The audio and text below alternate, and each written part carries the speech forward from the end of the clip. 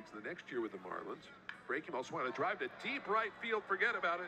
Schebler just looks up and it is gone onto the berm. And it's now five to one.